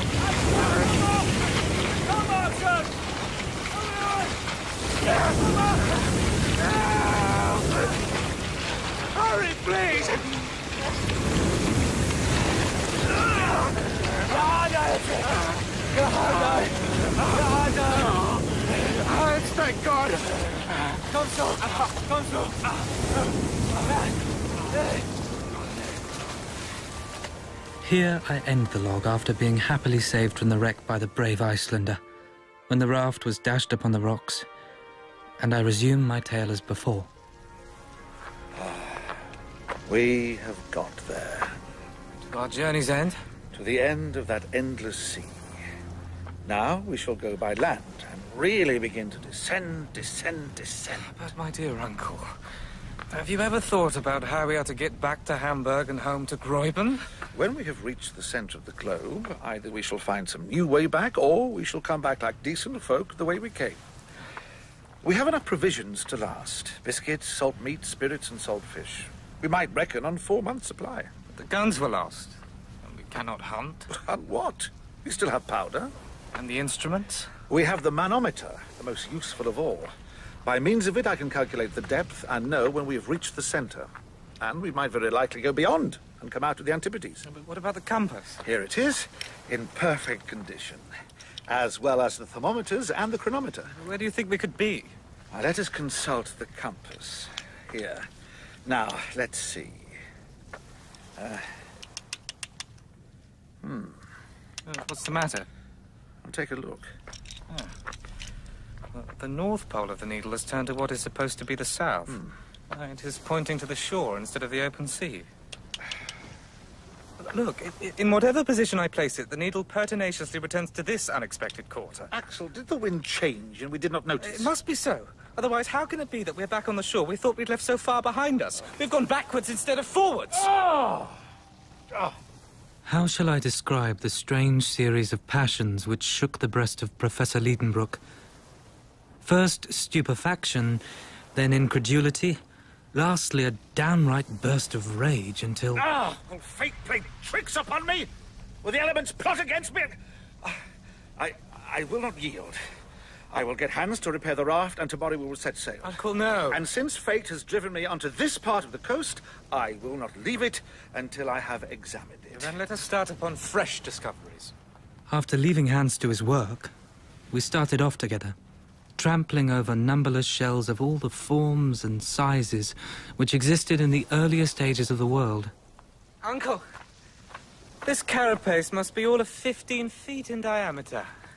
The covering of a gigantic glyptodon or armadillo of the Pliocene period, of which the modern tortoise is but a miniature representative, dear boy.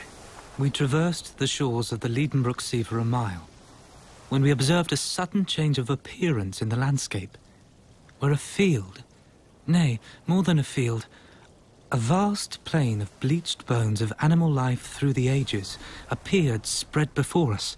All sorts of extinct monsters assembled together for your satisfaction, Uncle Edenbrook. and here, see, th- th- this must be a... Axel, Axel. A human body.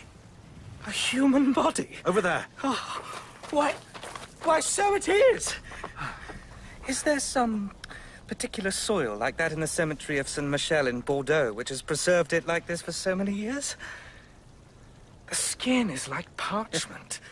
The limbs still have their shape, sound teeth, abundant hair, and fingernails and toenails of frightful length. Oh, how I shall enjoy sharing this with my students at the UNA! Oh, uncle!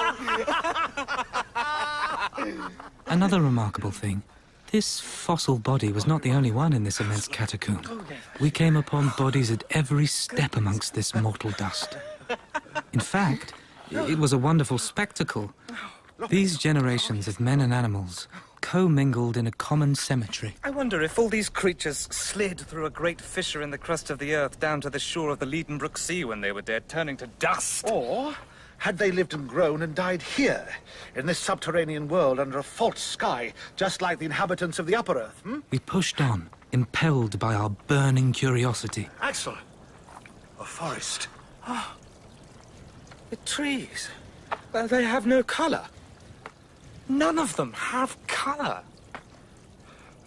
They grow without the life-giving heat and light of the sun. They are of a uniform grey, silver grey, perhaps light Uncle, brown. stop. My boy, what is it? There. to the right, amongst the trees. Something moving. It, it- it looks like it can't possibly be. Mastodon. So it is. Oh, uh, come on! Forward! Forward! I will not. We have no firearms. Come away, Uncle.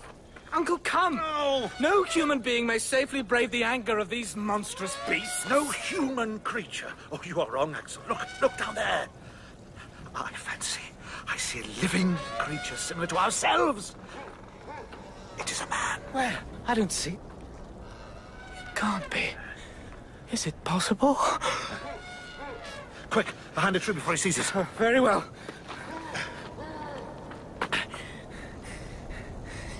He must be all of 12 feet high.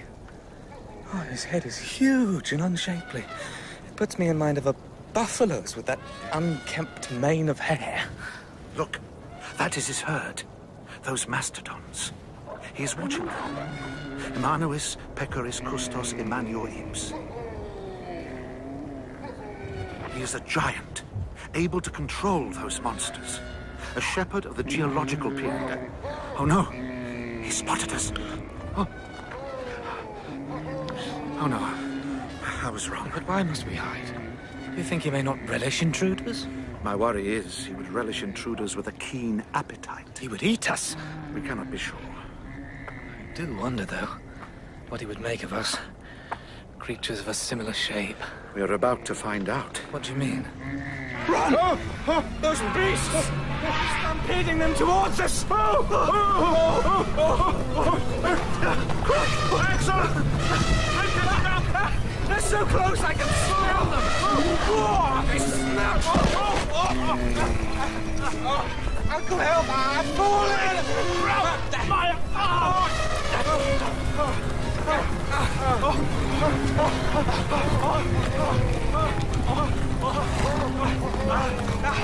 I, I think they, they may have halted their But charge. I'm not stopping to find out! Axel, wait for me! We kept running and instinctively got back to the Lidenbrock Sea. Evidently, we did not land at our original starting point, but the storm has carried us a little higher. And if we follow the shore, we will find the promontory where Hans constructed the raft. What's this? What's half buried in the sand? Uh, a dagger. Did you bring this weapon with you? I? No, certainly, but you, perhaps. I've never had this object in my possession. Well, this is strange. Uh, Axel, it is very simple. The Icelanders often wear arms of this kind. This must have belonged to Hans, and he dropped it. H- Hans never had an object like this. Did it not belong to some pre-Adamite warrior? To some living man contemporary with the huge shepherd? No, no, this is not a relic of the Stone Age. It's not even of the Iron Age. This blade is steel and... Axel, this dagger belongs to the 16th century. It, it- was never yours or mine or the Eiderdown hunters. Nor did it belong to any of those human beings who may or may not inhabit this inner world. This blade has been left on the sand for up to 300 years and has blunted its edge upon the rocks that fringe the subterranean sea. But it has not come alone. It has not twisted itself out of shape. Someone has been here before us. A man who has engraved his name somewhere with that dagger. That man wanted once more to mark the way to the center of the earth. Let us look about. Uh, here, Axel, come and see. On this granite slab, bold as day. Can it be? Two letters. Runic. A. S. Arne Saknussemm. Not only are the initials of the learned alchemist visible on the rock, but here is the iron point with which the letters were engraved. Uncle, I can no longer doubt the existence of that wonderful traveler. Arne Saknussemm. Thou marvelous savant. Thou hast not forgotten one indication which might serve to open to mortals the road through the terrestrial crust. I, too, will inscribe my name upon this dark granite page beside the tunnel leading to our conquest. And from now on, let this cape that advances into the sea, discovered by yourself, be known by your own illustrious name. Cape Saknussemm. Uncle, blessings on that storm. It has brought us back to this coast from which fine weather would have carried us away. We should never have seen the name of Saknussemm. Yes, Axel, it is providential that whilst supposing we were steering south, we should have actually gone back north to Cape Saknussemm. I, I must say that this is a, it's astonishing, and I, I feel I have no way to explain it. What does it matter, Uncle? Our business is not to explain facts, but to use them. Oh, certainly. We are but- going now to resume the northern route and to pass under Sweden, Russia, Siberia, who knows where, instead of burrowing under the deserts of Africa. You are right. Now we go down, down, down. Do you know, it is now only 1,500 leagues to the center of the globe? Is that all? Why, that's nothing. Let us start. March. Now, wait! We must get the raft, our things, and Hans. Oh, yes. And then we march. The soul of the professor had passed into me. The genius of discovery possessed me wholly. Axel, can kan du være venlig ta rebbene og binde tonnefloden fast? Uh, Axel, he wants you to jump onto those rocks there and secure the raft. Uh, will do. Tak. Nice and tight. I was wondering if we shouldn't burn the raft. We're not going to need it anymore. It would prevent the temptation to return to the surface. Keep us on our path. Certainly not. Nothing can stop us now. At least don't let us lose a minute. Yes, yes, but first let's examine this new tunnel to see if we shall require our ladders. Uh, Hans, uh, vi tjekker det ud. Ja, godt så. Vi må heller ta lampen med. Uh, good day. Axel, the Ruhmkorff's apparatus. Here, uh, you take it and lead the way. Hmm? Ah, an honor, Uncle. The mouth of the tunnel was not more than 20 yards from us, and our party, with myself at the head, made for it without a moment's delay. The beginning of the next stage of our journey to the center... What? Oh, cursed rock. Nej, nej, nej, vejen er spærret. Ah, the way is blocked. A giant piece of rock is blocking our way. But how was it with Saknussemm? Indeed? Was he stopped by this stone barrier? It seems this fragment of rock may have been shaken down by some shock or convulsion since he passed this way. Well, then, then let us make our way with uh, pickaxes, spades. Mm, it's too hard for the pickaxe. I know. We'll blow it up. Blow it up? Ja, ja, ja, en god idé, And so it would be. The Icelander retrieved an iron bar from the raft, which he used to bore a hole for the charge. This was no easy task. Whilst Hans was at work, I was actively helping my uncle to prepare a slow fuse of wetted gunpowder encased in linen. I beg you, Uncle, please let me light the fuse. take care, my boy. Once you've lit it, then hurry and join us back on the raft, and we will push off to avoid the dangers arising from the explosion, the effects of which are not likely to be confined to the rock itself. Take the torch. Thanks, Uncle. Held ulykke. Uh, uh, Godspeed, my boy.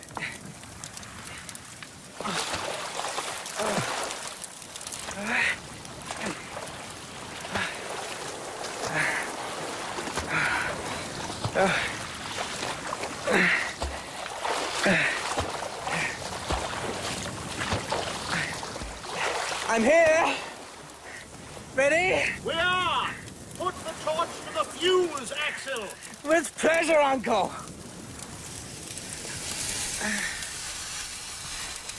It's alight. Run! Run quickly! Put off! Run! Yeah. Come, come, come! Quick, Axel! Jump aboard! Soon the raft was 20 fathoms out to sea. It was a moment of intense exhilaration. Own rock. Down with you.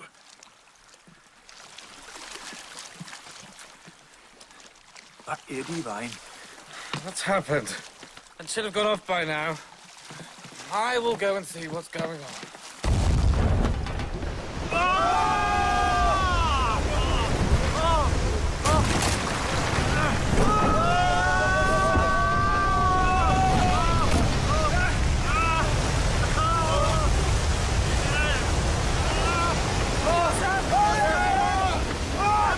Pull towards the shore!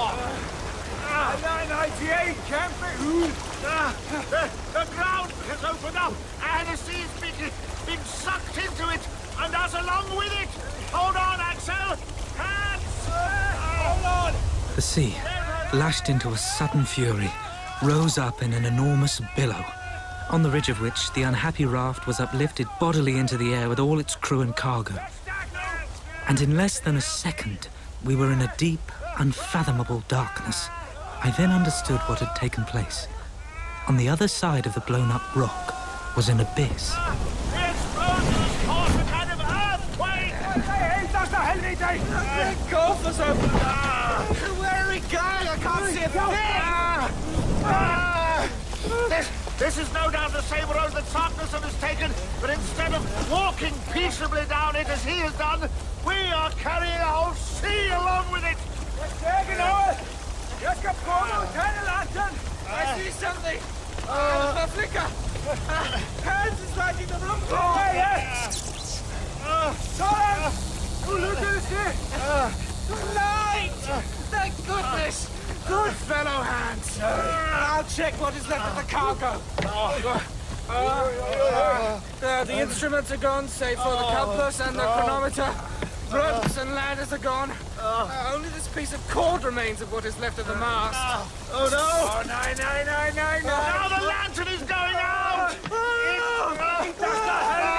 And perhaps the water got in! Help! Help! Help! Yeah! Black night reigned again, and there was no hope of being able to dissipate the palpable darkness.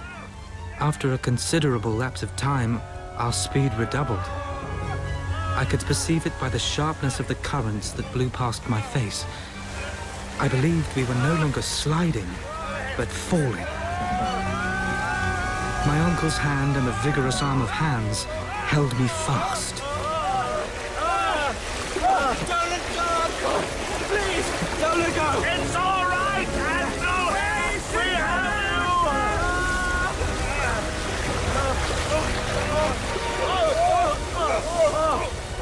Oh, what's this? Why have we stopped falling? Oh, yeah. Uh, he's the uh, Yeah, yeah, yeah.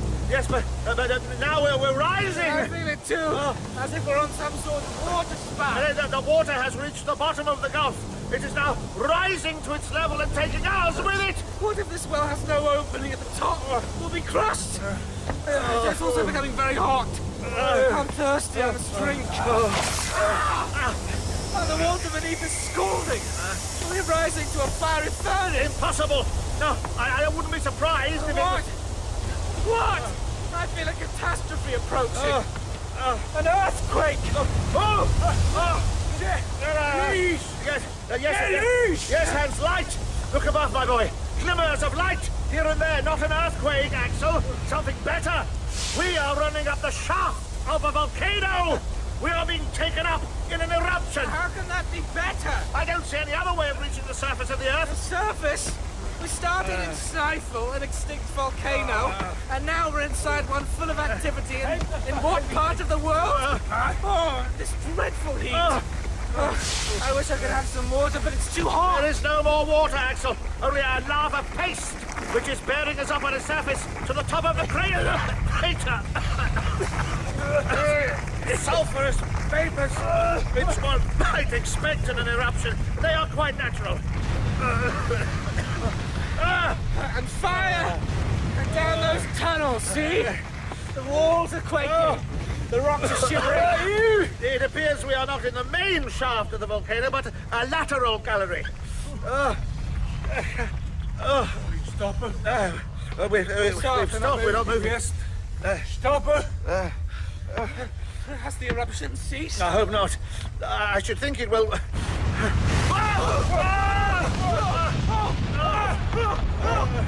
Hold fast! Hold on, Axel! Hans! Uncle Lidenbrock! You may be surprised to hear this, but I have no exact recollection of what took place at that moment. I have a confused impression left of continuous explosions, loud detonations, a general shaking of the rocks all around us, and of a spinning movement with which our raft was at once whirled helplessly in circles.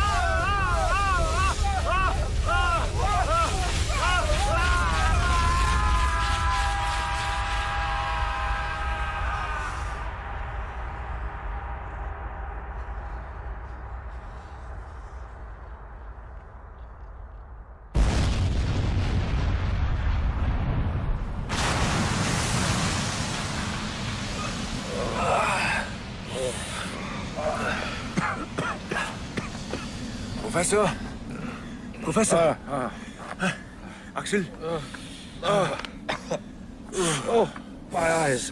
Ah, uh, a light. Where are we? Is it Iceland? This sun, I can't see, it's blinding. Uh, what? Nej, nej, nej, nej, det er ikke Island. Uh, not Iceland. Nej. Hans must be mistaken. I must see. Oh.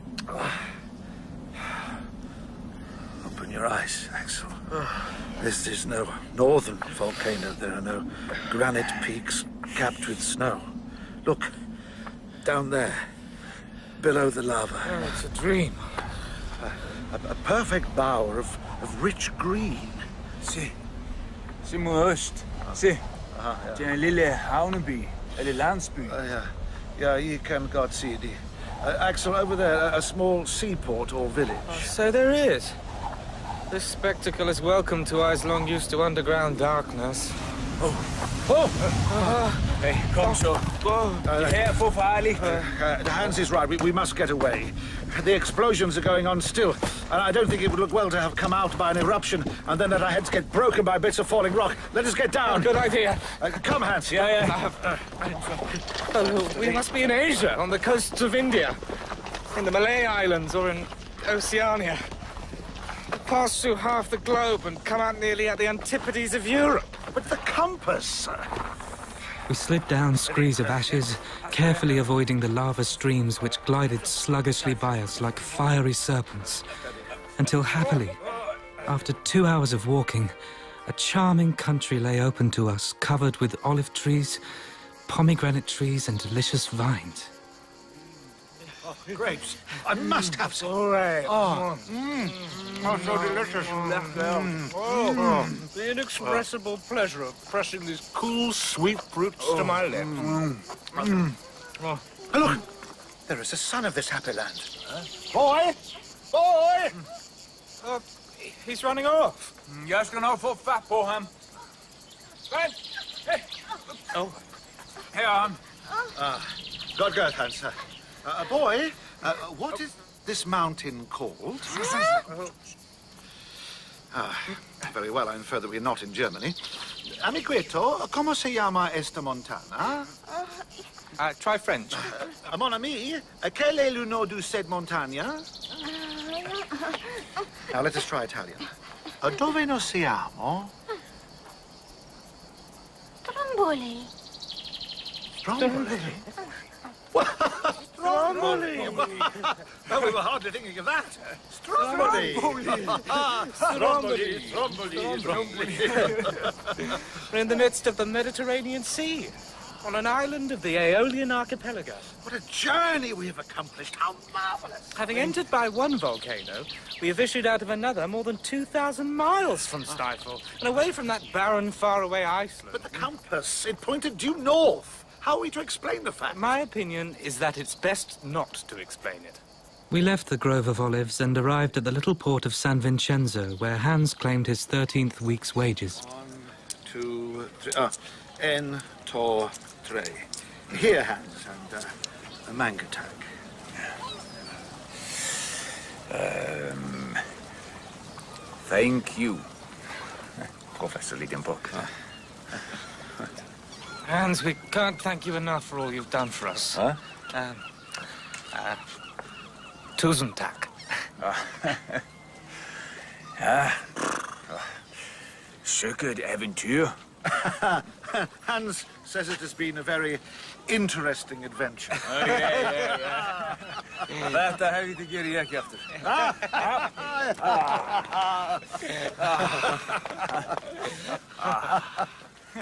And then on the evening of the 9th of September, we arrived back in Hamburg. You're back! Both of you safe! we are indeed, Gräuben, and we can't wait to tell you of our adventure. Axel! Oh, Axel! You must have worried so, my love. About what? About me. Not really. Perhaps a little concern. Not at all. Gräuben. Axel, I never doubted you would return to me. Never, never. I can't tell you how happy I am to hear that. And now you are a hero, you will not leave me again. Oh, no. My pretty days, I will not. How can I describe the extraordinary sensation produced by the return of Professor Lidenbrock?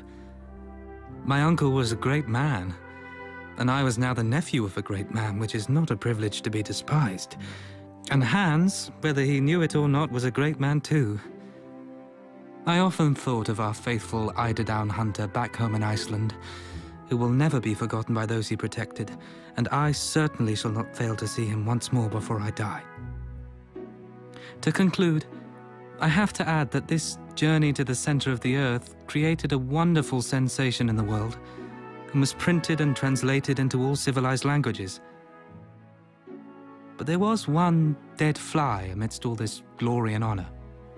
One fact, one incident of the journey that remained a mystery.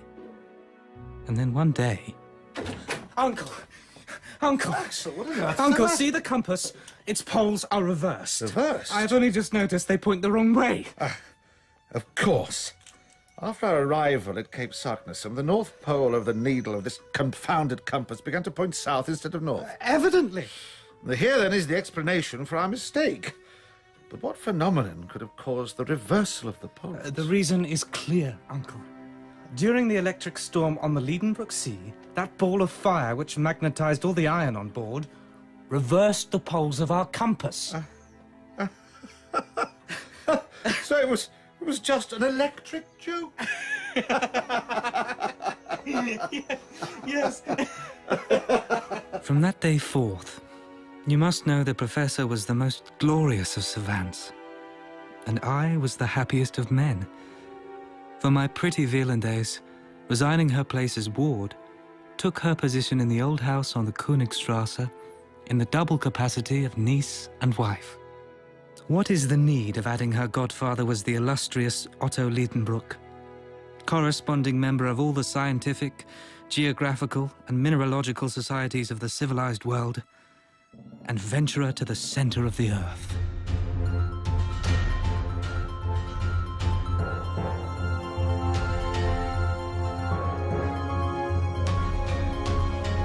In Journey to the Center of the Earth, adapted from the Jules Verne novel by Moya O'Shea, Axel was played by Joel McCormack, Professor Lidenbrock by Stephen Critchlow, Hans Gudmundur Thorvaldsen, and Gräuben by Nicola Ferguson. Original music was composed by Neil Brand, and the director was Tracy Neal.